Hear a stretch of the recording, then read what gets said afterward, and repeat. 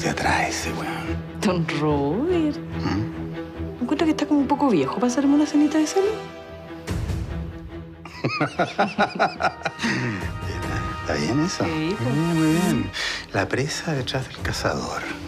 Bien, muy bien.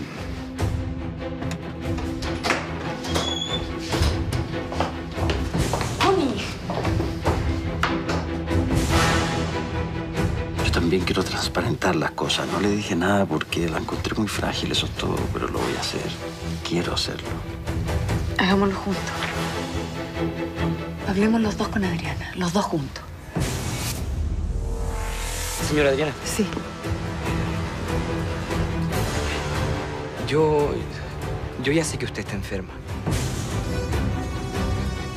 De querer tener hijos, bueno, eso está, está dentro de los planes, pero todo a su tiempo. Bueno, discúlpame por querer ser abuela sin tener pinta de abuela. Eso sí. Eso, mamá, tú no tienes nada de qué preocuparte. Qué lindo, mi amor. Pensar en ti me está trayendo consecuencias graves. No me puedes decir que estás arrepentido. Tú te casaste con la Antonia, tomaste una decisión. No te puedes arrepentir, no le puedes hacer eso, no ahora. ¿Por qué no?